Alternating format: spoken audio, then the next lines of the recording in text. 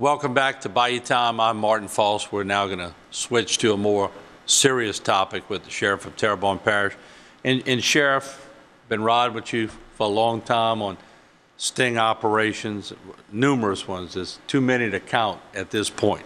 But last week, another nationwide synthetic drug bust, Project Synergy 3.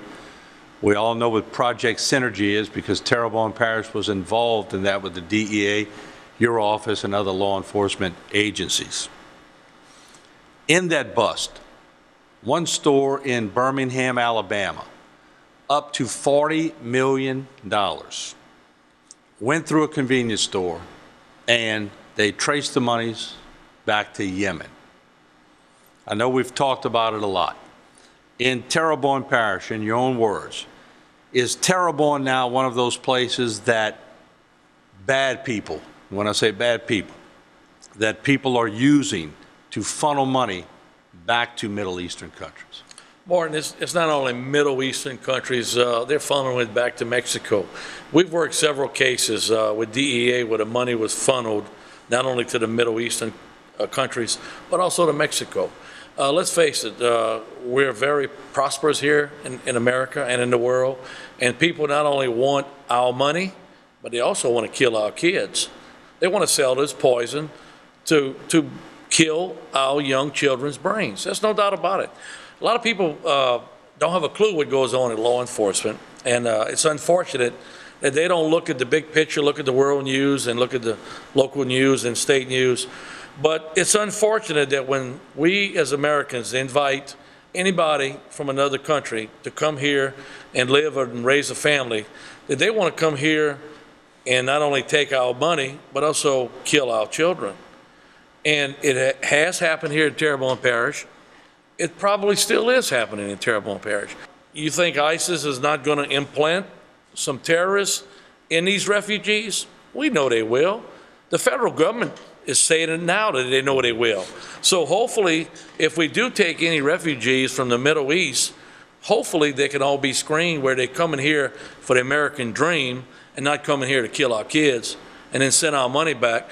Look, I mean, you, you're talking about millions and millions, perhaps billions of dollars that is coming here. Uh, these people open up a business and yet send it back to a terrorist country. Why not leave the money here, spend the money here, buy homes? Why not hire more people? You know, circulate that money here. We have people coming here, we're inviting people here, give them a tax break, and then they send all the profits overseas. Something's wrong with that picture. Let me ask you, y'all were involved also in Project Synergy 2. Uh, I want to just point blank ask you, have you traced monies from Terrebonne Parish back to the Middle East and terrorism? DEA has. We, we can't go outside our, our domain, which is Understood. Terrebonne Parish. Understood. And that's why we brought in the federal agencies. And the federal agencies trace money back to Yemen, without a doubt, money going back to Yemen. We seized in that particular operation, we seized about 1.6, 1.7 million. Uh, Some of the uh, co-defendants have pled. Uh, We're going to trial with, with the rest. Our di- district attorneys adamantly going after them. Uh, Some of them got serious time already. Some of them have given up their assets. And, uh, you know, we- we're going after their assets. There's no ifs and buts about it. Uh, The federal courts allowed us to do it. Uh, These individuals are coming here, like, like I told you. We believe they're coming here not only to make a profit, but they're also coming here to hurt our children. When you're going to sell drugs out of, out of any business, a convenience store, if you can't make, if you can't make a legitimate profit by doing the right thing, like the rest of, of, of whoever it may be, Americans or, or Mexicans or Orientals that are, that are opening up a shop, if you can't make a profit legitimately, we need to shut you down. And that's what we're going after. When we try to do research on stores and we try to find out ownership, we, we find it morphs a lot, it changes a lot, more than any other business that I've ever seen. Names are constantly changing. Is this something that y'all constantly fight? Is it a shell game? Let me tell you, Martin, it's not only a shell game for illegal uh, narcotics activity, he's probably a convicted felon. So what they do, they get the names and other people, they get the ownership in other people's names so that they can operate, so that they can get a, a, a legitimate uh, uh, liquor license. because maybe they've had a shady past where they have, may may have been arrested previously for, for other charges. It could be, could be anything. So, uh, yes, the shell game goes on in a lot of these activities where individuals don't want their name nowheres around, or they're a silent partner. That has happened a lot. And that's what makes it so difficult when- whenever we uh, pull up, try to pull up sales taxes, we try to pull up uh, occupational license, or through the Sec- Secretary of State license that we have to pull up. And it, it makes it difficult sometimes to find out sometimes the true owners of, of these facilities. Is there a predominant nationality that you're seeing with the sheriff's department that is moving in all of these states and moving monies?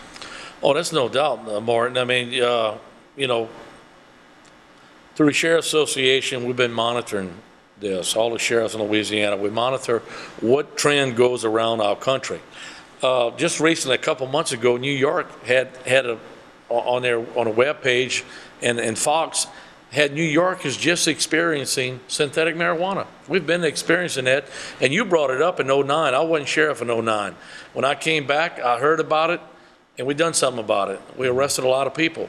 We think we put a big dent here in the parish, but we know it's still here. We do know it's still here. But across America now, synthetic marijuana is running rampant throughout other states. People are falling out on the streets in New York. It's something new to them. If you look at all these critical incidents we've been having, which we hadn't had before, and if you go back and if you could really look at all these individuals who are out there killing these innocent people in churches, in schools, in, in uh, movie theaters, I guarantee you, I guarantee the majority of them are probably using some of this synthetic marijuana, mojo, bath salts, because at times, at the times they're arrested, they're not tested. They're not tested for drugs. But yet, the family says they have a mental problem. Well, if your brain is fried from synthetic marijuana, from crystal meth, from heroin, yes, you've got a mental problem. But that's a self-induced mental problem and should be classified differently. But all across America, we're seeing this in law enforcement. We're seeing all these new designer drugs are coming, and none of these drugs are made in America. They're either made in China, Mexico, or the Middle East. Let me ask you this.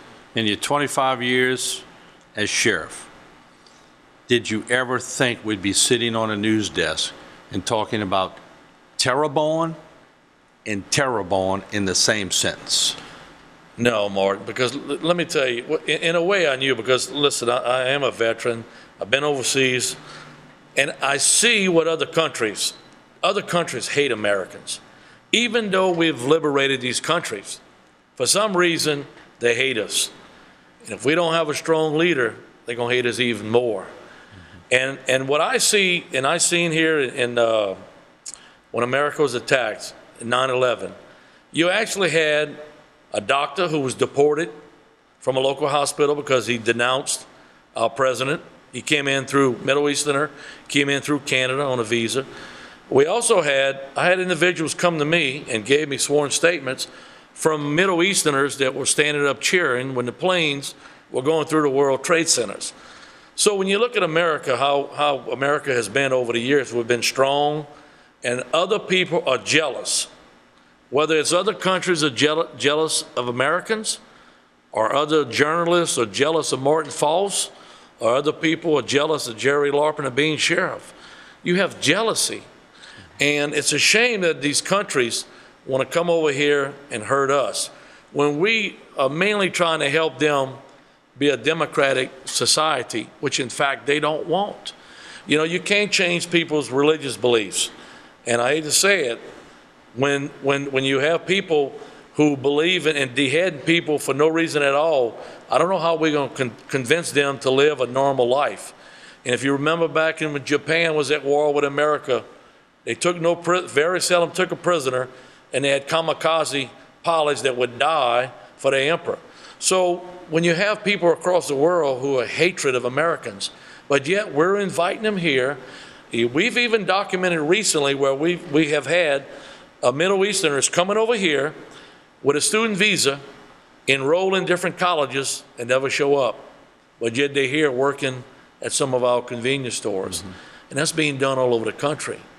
We don't have a unified system to track illegal aliens or really legal, legal, legal individuals that come from abroad. And that's what's scary about, about America. That's what's scary about America. I, I could go on for a long time and tell you some of the ills that we have in America, but we all have to stick together.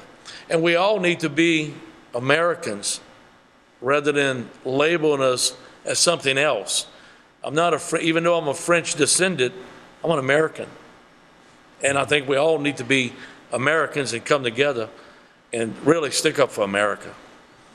Sheriff, thank you so much for joining us, and uh, 25 years, congratulations again on your 25 years. Oh, And thank uh, you. you got more counting, too, so, uh, and we look forward to having you back on the set. Thank you so much. And again, thank the public for, for really supporting me and my office. Thank you. All right, once again, the Sheriff of Terrebonne Parish, Sheriff Jerry J. Larpenter. We'll take a break. We'll continue with more on Bayou Time.